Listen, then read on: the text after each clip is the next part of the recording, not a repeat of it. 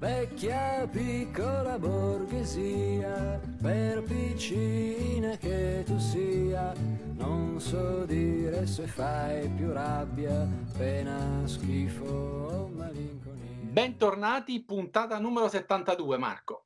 Benissimo, bentornati e cominciamo con lo sdoganamento, stiamo deconfinandoci lentamente.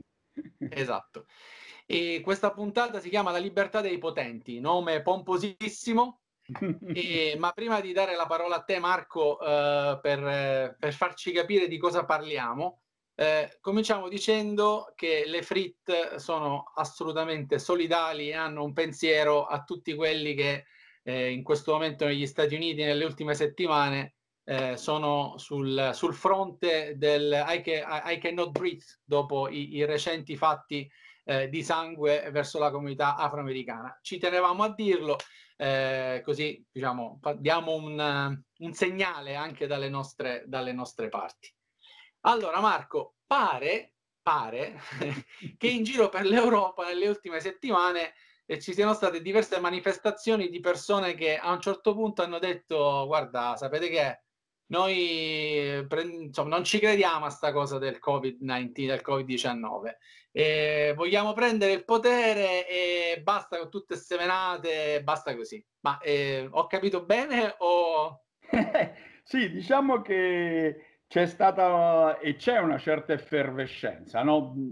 Abbiamo da un lato in alcuni paesi eh, eh, sono i governi, i presidenti che eh, hanno sempre mantenuto un atteggiamento oh, tra il negazionismo e il riduzionismo. No? Pensiamo, basta pensare appunto a, all'osco figuro di Trump eh, a proposito del quale eh, ci sono appunto anche le sue posizioni orribili rispetto alle vicende di Minneapolis o a Bolsonaro in Brasile ma poi c'è una, una, certa area che si è manifestata anche nei paesi come l'Italia, la Spagna, la Germania, che hanno preso delle misure eh, significative eh, di confinamento, o di opposizione, no? di rivendicazione di una libertà che noi abbiamo definito nel titolo la libertà dei potenti, perché spesso e volentieri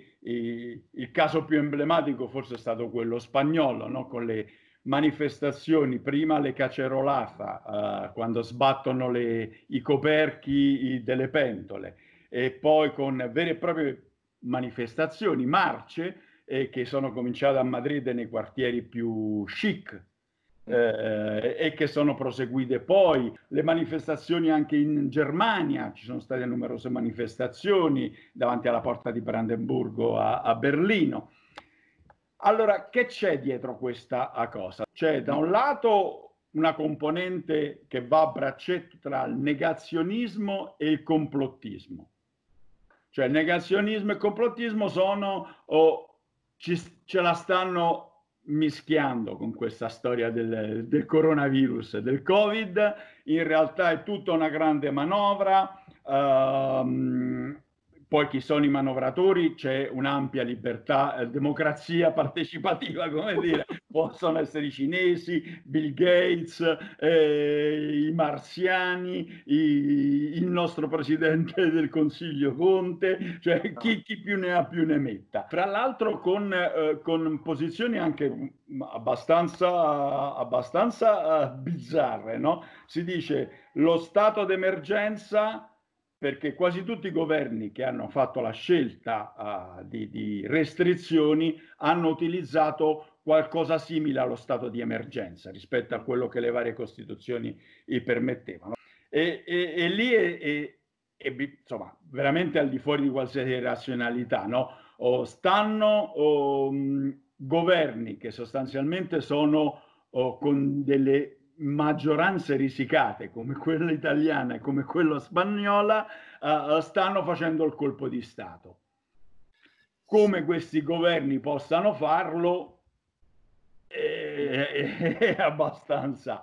A parte appunto queste due componenti c'è una, un aspetto sicuramente eh, importante perché eh, lo stato di emergenza offre degli strumenti che proprio per il loro carattere emergenziale stanno un po' sono preoccupanti.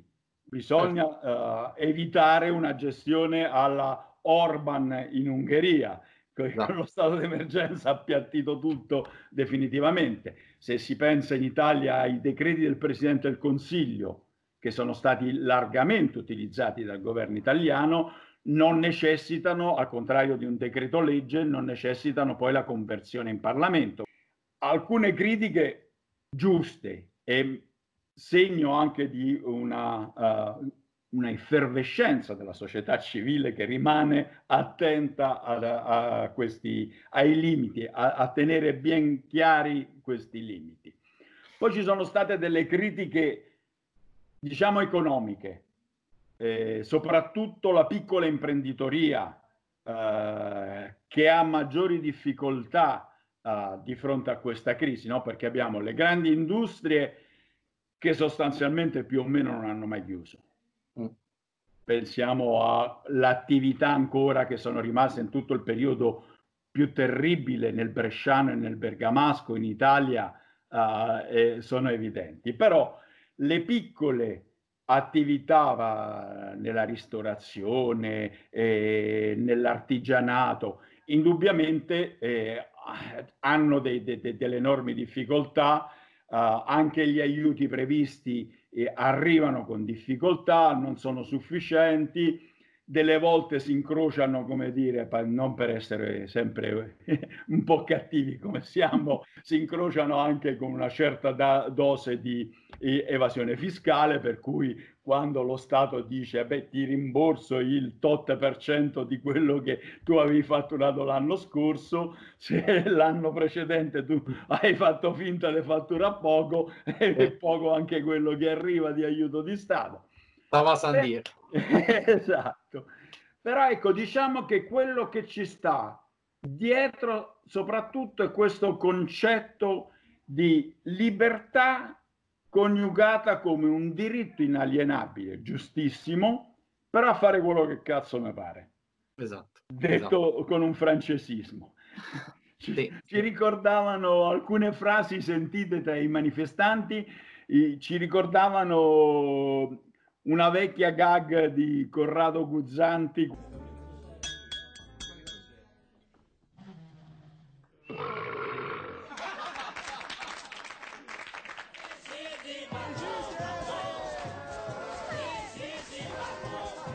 Facciamo un po' come cazzo ci pare. Io ho visionato una serie di video, diciamo soprattutto quelli italiani, dove ci sono state queste, insomma, queste piazze a Milano di fronte al Duomo con il, l'ex generale Pappalardo perché è stato destituito un paio di anni fa per sì. condotta eh, non confacenti al suo, al suo titolo. E, ma credo che lì la questione si stia spostando spesso anche su una questione psichiatrica, cioè non è più una questione diciamo di politica di razionalità. Quando Conte telefona a Bill Gates sulle nostre spalle, prendendo 140 milioni, decide di iniettarci il mercurio nelle nostre vene collegate ai 5G e diventeremo dei piccoli robot.